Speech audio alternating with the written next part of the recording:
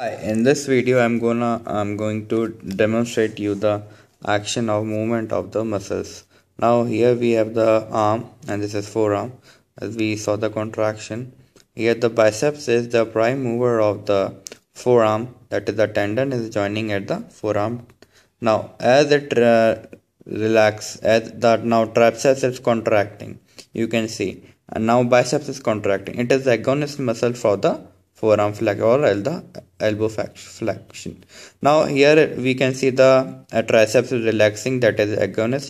Now the action now changes. Here it is now agonist for uh, elbow extension and it is acting as uh, antagonist for elbow ex extension.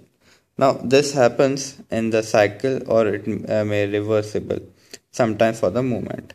So uh, the nerves also uh, carries the signals and likewise the all the muscles works like that